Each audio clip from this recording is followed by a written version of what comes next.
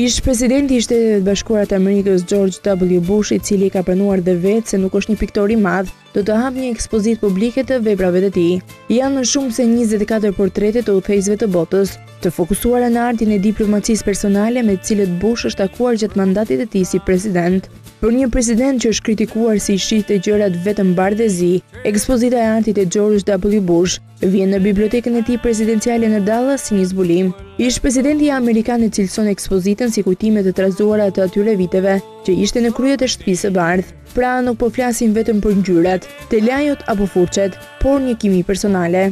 Një buzëqeshtje në portretin e Tony Blair në atë kohë kryeministër i Britanisë. Portreti i Blair portretizon dhembshurinë, forcën dhe besueshmërinë. Angela Merkel shfaqet si një grua e brishtë dhe ëmbël, që nuk ka lidhje me gruan e pushtetshme të Europës që ne njohim. Bush e përshkroi Dalai Lamën si një burrë të ëmbël dhe se është përpjekur ta sjellë sa më ëmbël edhe në portret.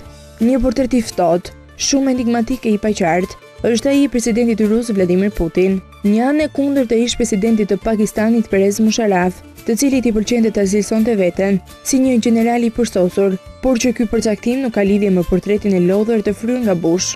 Edhe portreti i presidentit afgan Hamid Karzai, me të cilin marrëdhëniet ishin të komplikuara, shfaqet i ftohtë. George W. Bush shprehet se realizimi i portreteve nuk do të kishte qenë i mundur nëse nuk do të kishte investuar aq shumë në diplomacinë personale.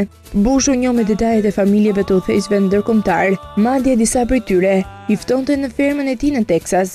Ai pikturon çdo ditë, merr leksione çdo javë dhe se për të, frymëzimi vjen nga heroi i tij Winston Churchill.